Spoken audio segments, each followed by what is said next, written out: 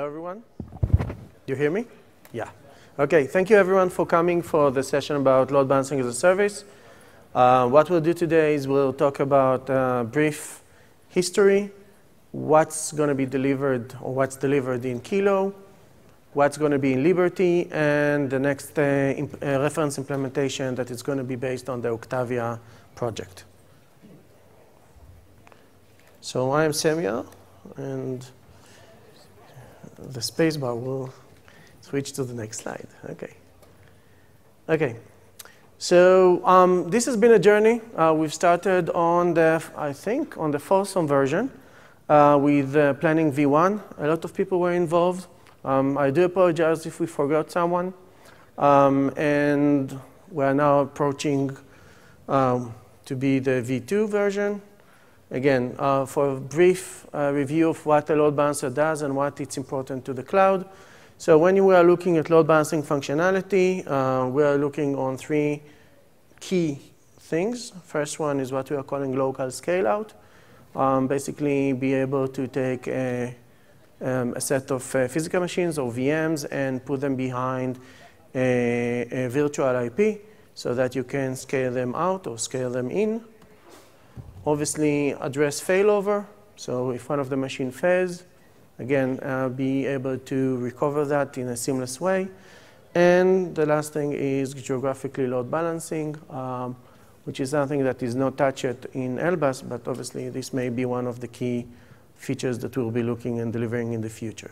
So again, that's very basic on load balancing as a function in uh, application delivery environments. So what was done in LBaaS v1? So LBaaS v1 was uh, kind of basic. It allows uh, an IP with a specific TCP port uh, to be specified as a front and could either be load balancing HTTP, HTTPS, or simple TCP as a pass-through techn technology. Um, for example, there was no HTTPS termination. Um, there was persistency based on cookie and uh, source IPs and cookie insertion. Um, the nice thing about LBaaS v1 is that it was actually, um, sorry, it, it, was a good demonstration on how when specifying an API, you can get a lot of adoption by multiple vendors and multiple solutions. Um, there are, I believe, around 10 different uh, backend implementation for v1.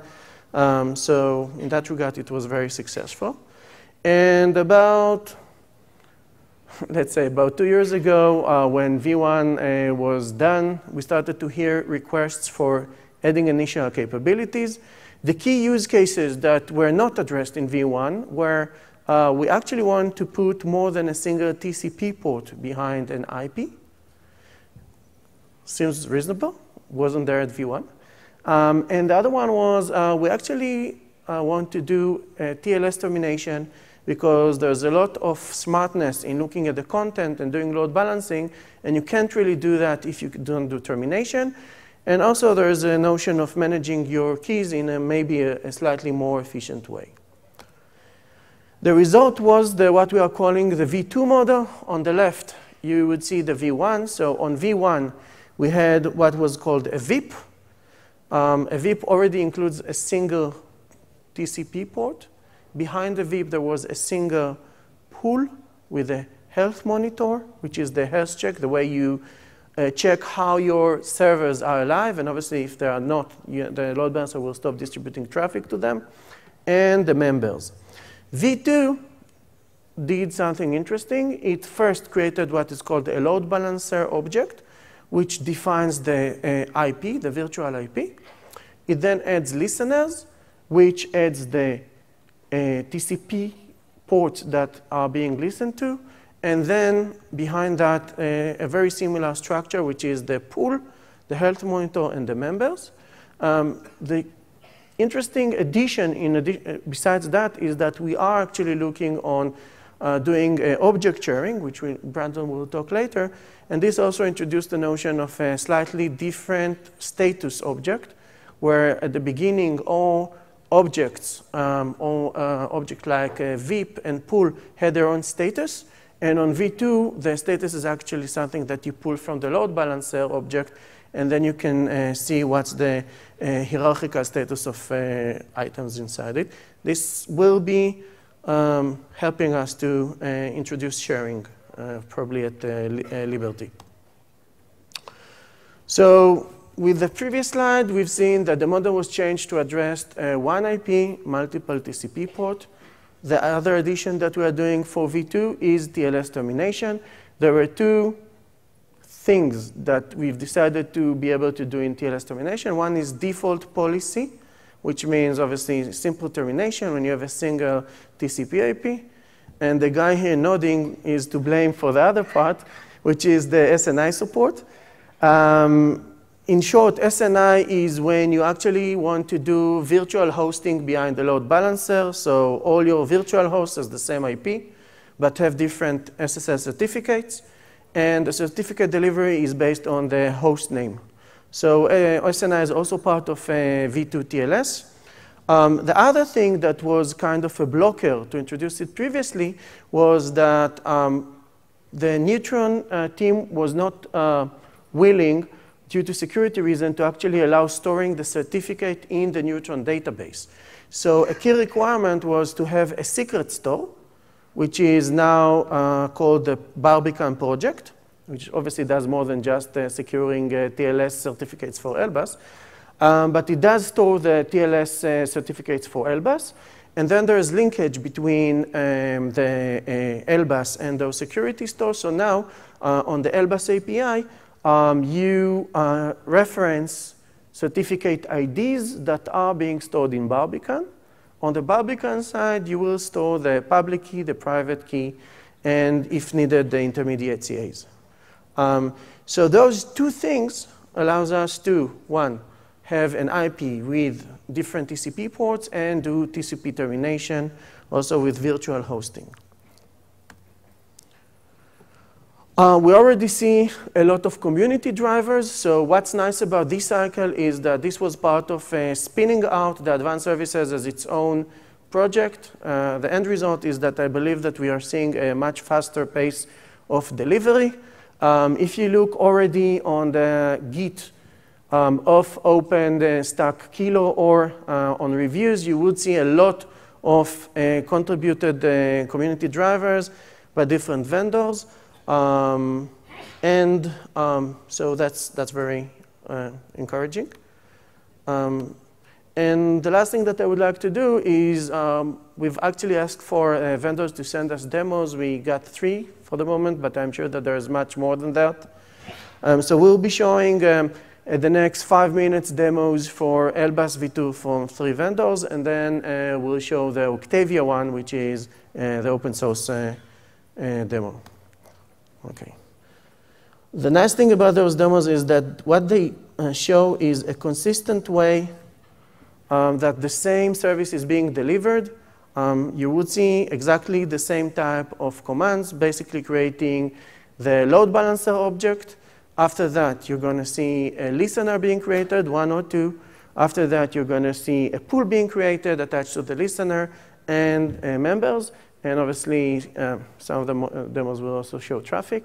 Um, the nice thing about this, though, is that you get a very consistent, again, set of APIs without disregard, with disregard to what's the backend. So, again, this is the A10 one, as we can see.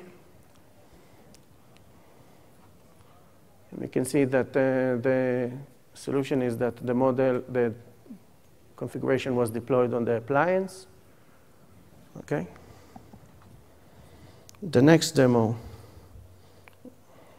will show, again, a, a two-leg topology. When the VIPS is on one network, the uh, reels on this other network. You can see the virtual machine in there. Um, again, almost the same type of CLI commands. Um, first, the load balancing is being created. Then a listener is being created. You can see it's an HTTP listener. And then again, the pool are being created.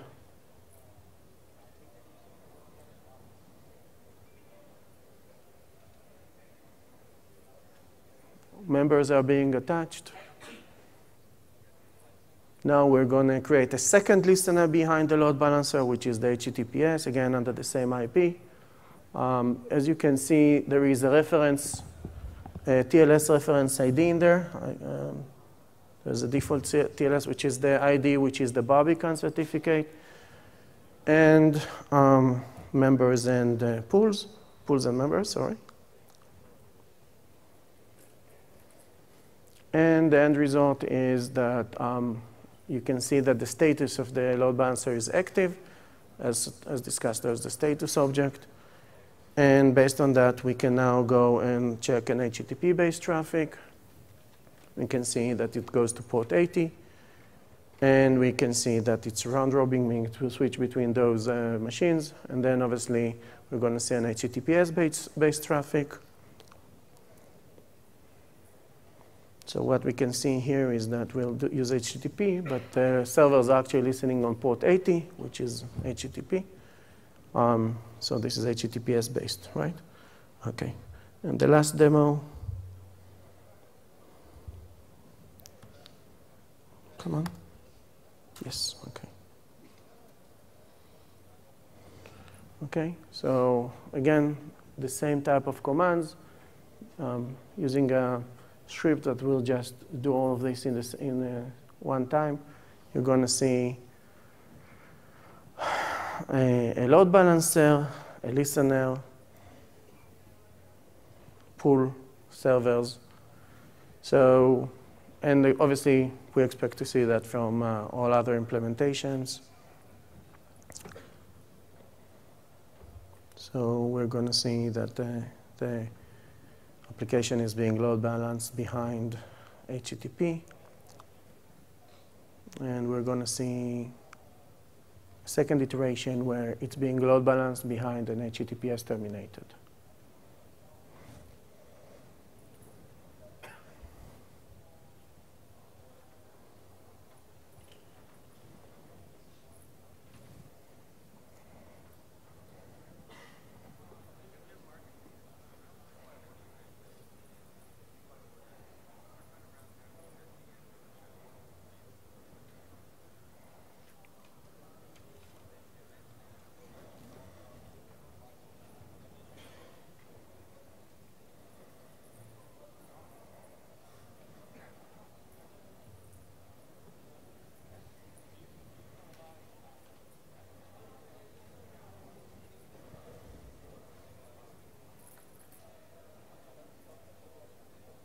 Okay, so we can see that it's behind now in HTTPS, being terminated for on port 80. And again, what we get is we get a unified API um, that can express uh, the uh, more modern uh, uh capabilities of load balancers um, implemented by different flavors, and we'll be talking now on what's expected in Liberty. Brandon Logan. Mm-hmm. No, fine. Go. Okay. anyway, I'm Brandon Logan from Rackspace. Um, so there's some features we're planning on for Liberty. Uh, the first one is L7 content switching. This is actually planned for Kilo, but uh, due to the server split and getting TLS in, it didn't make it. Um, but it's it's pretty close to being uh, merged into upstream right now. Um, so L7 basically uh, allows a user to direct traffic to a different pool uh, based on uh, L7 rules. In this case, you know, it, one example here is uh, the URL. So you can go to a different uh, pool based on uh, what the URL, a, a, client sends in. Another case is using HTTP headers. Um, but people want to do this to, you know, have a, a performance pool versus a, another pool that is less performant. Um, and that's going to be off the uh, listener. So we need, this basically gives a listener multiple pools. Uh, another thing that goes with L7 is uh, pool sharing. Um, so currently, um, you have to create a pool, a pool cannot be living on, it can't, it can't live on uh, two separate listeners. And so in the case of where you want to uh, load balance on port 80 and on a terminated 443, you would have to create a duplicate pool which means you have to create duplicate members and duplicate health, and health monitor. So if you ever have to update the pool or the health monitor or the member, you would have to do it twice. And this becomes kind of not very a, a good user experience. So with a pool sharing, you can attach a pool to uh, many different list, uh, listeners. So whenever you are able to create, or whenever you need to update a pool or add a member or delete a member, it uh, trickles to all the other listeners. So uh, it makes it easier on the, on the user. Um, next one. So if you looked at the demos, there was a lot of uh, create requests for each uh, entity. So at a minimum, to get an actual fully functioning load balancer, you have to have four API requests. One for the load balancer, one for listener, one for pool, one for member. Now, if you wanted to have many listeners and many uh, pool members, you would have a lot more API requests. Um, so one of the things we want to do is have the ability to provide the entire load balancer configuration all in one request. Um, this makes it super, uh, it, provides the entire configuration to the driver up front so they know exactly what kind of networking they need to set up first. They know what kind of resources they, they need to set aside up, uh, up front.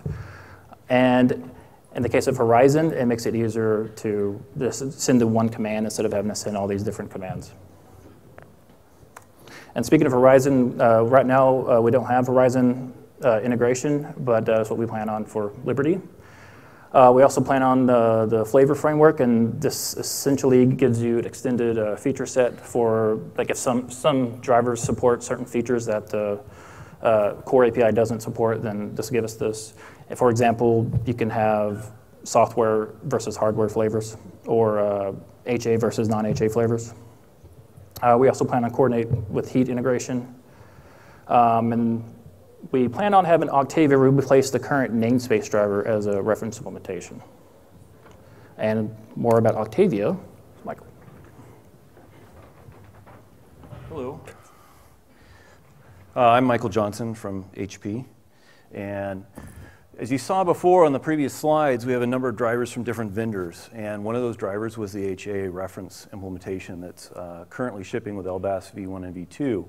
Um, Octavia is yet another driver um, that's intended to replace that reference HA proxy driver with a more um, operator uh, class um, reference implementation based on an open source load balancing solution.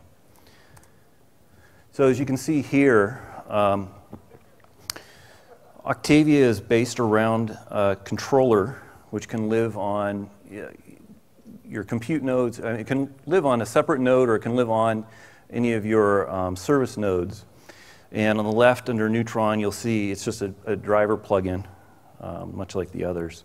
Let's see, does the mouse work here? No. Um, but essentially, we have a, a, database that stores all of our information about the, the configuration um, for the controller. And one of the nice things about Octavia is it's driver based. So as you'll see here, we have an Amphora driver. I'll tell you a little bit more about that in a minute. A compute driver and a networking driver. These are all um, replaceable components in Octavia. So if you have custom solutions for this, um, you can drop in replacements. And in fact, um, even today, we have two different Amphora drivers available. We have one that's based on an SSH model and one that's based around a REST API model for our Amphora. Um, speaking of Amphora, Amphora is, um, in the current implementation, a service VM, uh, but we're calling it Amphora. We gave it a name that's abstracted because we also want to support containers and, and technologies like Docker as a, a possibility for hosting your uh, Amphora content. So the HA proxy in this uh, implementation actually lives inside that Amphora. And the controller interacts with it again through the driver. And as I mentioned, we have an SSH and a, a, a REST API driver. So uh, when the customer comes in and makes the request, we will either pull from a spares pool of Amphora that are already built and uh, issue those and configure them on the fly. Or if you have a zero spares pool, um, we'll boot one up uh, using uh, whatever compute technology you have plugged in as your driver. In addition, the controller is also responsible for two other um, capabilities here, uh, the health manager and the housekeeping manager. These are actually separate processes, so they can be distributed uh, as you see fit. Um, the health manager, of course, monitors the amphora, makes sure they're healthy, and does failover activities should there be a problem. And housekeeping is there to manage your spares pool, um, do deletions, cleanups, etc., that we want to do asynchronous to um, customer interaction. Uh, the other neat thing about Amphora is we're plugging them into tenant networks. So we have a load balancer network, which is kind of our management uh, network for talking to the Amphora. But then as we um, spin these up, we plug them into the customer network or even a uh, VIP network if you have a separate VIP network for your incoming connections. So, quick roadmap, and will is highlighted there. This will change, um, particularly throughout this week. We're going to have a lot of summit meetings to talk about um, kind of this roadmap and what we're uh, intending to get done. But our 0.5 release, which is what's work in progress right now, the intent is to have uh, feature parity, uh, maybe not complete performance from a control plane perspective, but a feature parity with the current reference implementation, uh, using the service VMs, and uh, just basic spares pool failover. So in other words, if we have a, a, Amphora that goes down, we'll rebuild it from a spare. In the 1.0 time frame, which again may land in Liberty, may not, uh, we'll go to active standby on the Amphora. So we'll have uh, two set up with VRRP, and they'll be able to fail over uh, between themselves. So a much faster failover than a spares pool failover. And uh, high availability on the control plane. So you'll have multiple controllers um, for your, your deployment. And then 2.0, which is out there, um, we want to do active-active and horizontal scale out. So in number of Amphora uh, making up one load balancing component. So let's see, how are we doing on time? 30 minutes. So I'm going to go ahead and um, be bold here and try a live demo. Here you get better swag. Actually, let me change the font first. Okay. 16.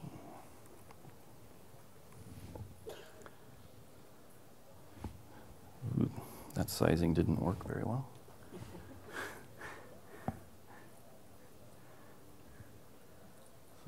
Full screen on that screen's not full screen. Let me scale it down a little bit.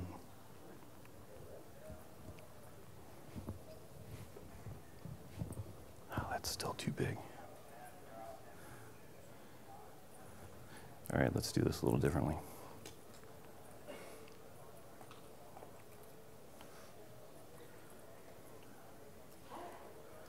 Duplicate.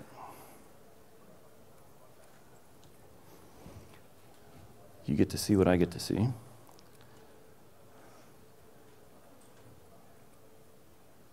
Uh, that's why.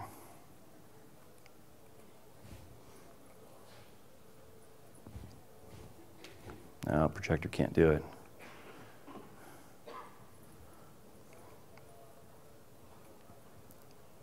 Okay, so I'll do it in a fairly small window. Sorry about that. So what this is is a, a DevStack VM running on VMware Workstation on this system. And um, I've done some basic setup. I'm going to run off a script here. I'm not that crazy. So I've got two nodes. These are my back-end um, web serving nodes. They have a very simple web server on them. Uh, you'll see it's .11 and .13. On the networks, I've set up um, three networks. We have the LB management network, which we talked about. That's how um, Octavia talks to its Amphora. Um, I've also created a load balancing VIP network. So this is a separate um, VIP for the incoming connections and a tenant network which is where these two nodes live. Just to show you, I have no uh, load balancers up my sleeve. We don't have any booted up yet. Is it?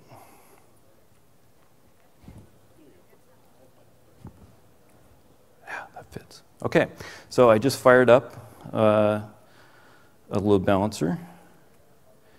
I'm going to do a quick check here and look at um, the different bridge networks that are set up in Nova. Since I'm on DevStack, I'm going to do a little hack here so that I have um, connectivity onto that VIP network. Um, so I just wanted to see which one is uh, coming up here. So if we look at Nova List, now you see we have our Amphora, we have our management network plugged, and we also have our um, VIP network plugged now. So I'm going to go ahead, make sure 61, is it 61?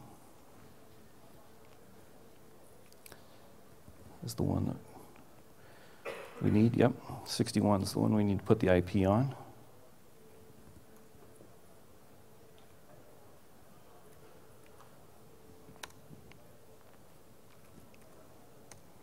All right, so now DevStack has access to that um, VIP network.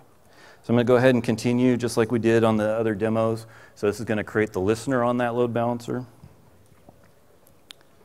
Next, I'm going to create the pool.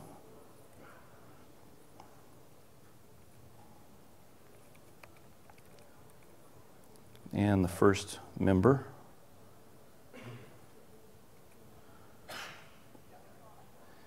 Our second member. All right, so there's 11 and 13. If we now look at our uh, load balancer, I've got the IP here. If everything worked. Okay, there's member one and member two. Yay, live demo.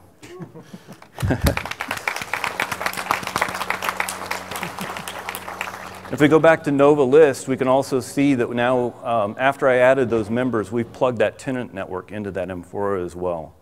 Um, not all deployments will have a separate VIP and tenant. Um, you know, you may lay out your network very differently. You may use floating IPs, but uh, that's an option. All right, back to the presentation. Okay. Don't need that demo. So you can try Octavia yourself on DevStack. Um, this is all committed. So you can go and um, update your local RC, add in the plugin, go pull it down. Um, the operator API is here if you want to go direct with REST. Um, otherwise, you can use the Neutron LBaaS command set, just like I did. We also have a sample, uh, sample vagrant file in there and a local conf um, if you want to use those. Um, one other thing to note, in case um, you guys didn't see it, Octavia is now an OpenStack project, so that's very recent. So these URLs, they're currently StackForge. They're going to be changing very shortly. We didn't want to do it right before the summit, so. um, the other thing to note, um, Octavia is definitely looking for more contributors, get more people involved, more companies involved. There's lots of work um, to do, so please feel free to join us on IRC. Um, we have a number of websites um, with information. Our main wiki page on OpenStack. Um, the Octavia.io is um, our documentation and GitHub. We also have a vBrownBag. Thursday at 2:45, German will be doing a hands-on with Octavia. He'll be demonstrating the REST driver. I use the SSH driver today. And current status and design. Okay, Unfortunately, Doug was going to join us, but he's uh, under the weather, so he doesn't want to use up his voice. Um, as I mentioned again, we have the uh, vBrownBag going on.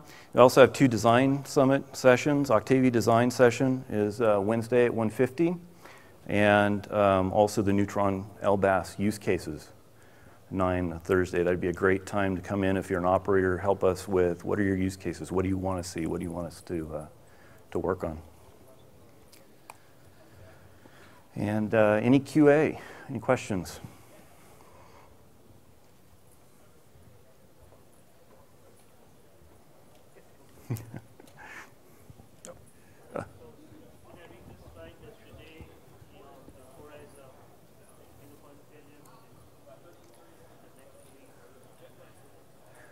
That's correct. In 1.0, it is a single controller um, for your Amphora.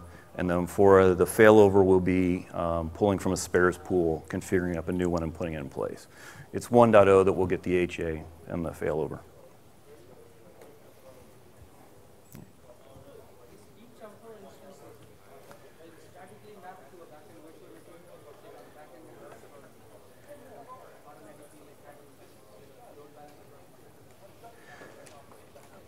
Um, it is statically connected at creation time. Not yet.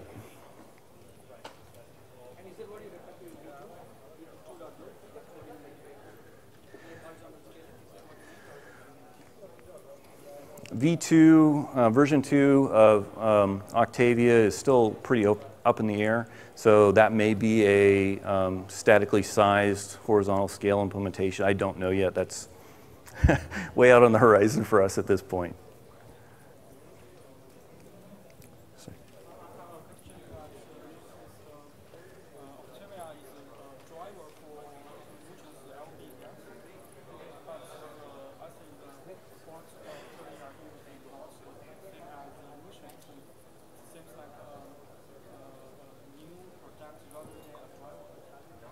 I, I'm, I'm sorry, I couldn't quite hear the question.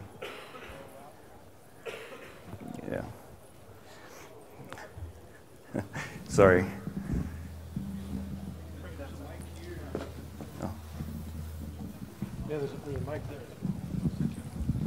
Uh, my first question is that uh, uh, it seems Octavia is a really a separate project rather than a driver than Neutron. Uh, it Well, the- has, There's a driver that talks to the Yeah. Octavia yeah. uh, appliance, basically. Uh, So there's a Neutron driver that basically makes request REST calls to Octavia itself. And so that's the driver. Octavia is just a, like any other backend. Yeah, the Octavia driver plugs into the Neutron networking services framework. It's on the far side of the diagram at the bottom. And it uses a messaging queue to interact with the controllers. Okay, and the Octavia need to boot a source VM to uh, to set up the load balance service yet. Uh, Yes. so, um, uh, what software uh, installed in the source VM? Right now uh, it's HA proxy. Uh, HA proxy. Yeah, but that's going to be configurable Yeah. because of the Amphora driver. Uh, okay. Or Do you have any other uh, free software choice like uh, uh, LVS or something something else? Yeah. I mean, I, there's certainly the opportunity for other drivers to be underneath this controller. Um, even hardware components could implement an Amphora driver um, and, a, and a networking driver and a compute driver to put a hardware implementation underneath it. Um, there's certainly opportunity for other configurations. Okay. Uh, oh, this seems interesting. Thank you. Yeah. Thank you. Over here.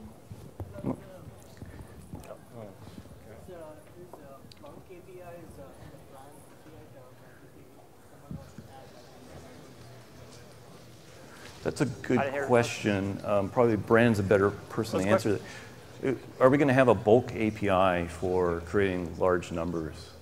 Uh, like a batch up or a batch create type of thing. I think that would go into uh, like updating a pool and being able to specify a lot of members. Yeah, yeah, that's definitely something that uh, we thought about. It's just we haven't listed it, but yeah, that goes along with this. Ooh, just not getting close across streams. Yeah, really. So yeah, that goes along with the single, uh, like the create call I I mentioned. Yeah, but it, that goes along with updates too. Updates, you kind of want to update the entire uh, graph or the tree at the same time.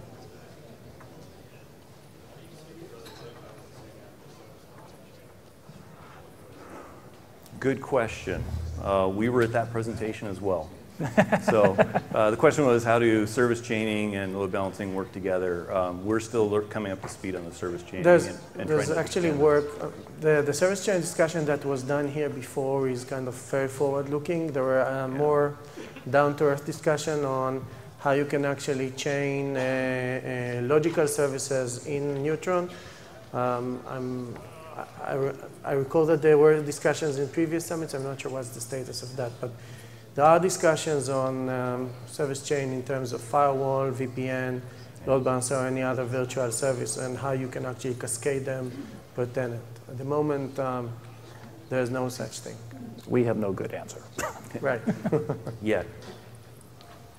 Okay, I just want to ask a question about the load balance HA. Uh, the, I, I just want to know the, the community approach for this load balance HA. Is there any uh, plan or uh, or uh, some something uh, plan to do for, for this topic? Load balance manager? Load balance load balance HA. I noticed that there, there, there there was a blueprint, blueprint in the community, but there's no big progress for that. I mean, Uh, you know, in, in Neutron, uh, uh, in Neutron it has the internal HA support for L3 agent, Ah. for L3 layer. Yeah, I just want to know, is there any plan for the HA support for the load, load balance? Yes. So the answer is yes. So um, I mean, if you the current reference implementation is running on the on the network service and is not part of the HA uh, HA work that is being done, and the switch to uh, Octavia will actually enable uh, load balancing um, for us to be highly available. So And of course, if you're using a hardware driver, you can use the hardware implementation of HA um, to achieve a similar. So there, there will be no uh, code or, or, or blueprint plan for this one, for, for, for, for the HA topic. It will just adopt the hardware support for, for the HA support. No. So again, Amphora, the current Amphora implementation is based on HA proxy. Mhm. Uh, the plan for uh, Octavia is to provision HA proxy instances that are highly available. Um, this is not there at the moment. It will be in version one, right? Correct. Okay, thank you. I think we're out of time. Thank you.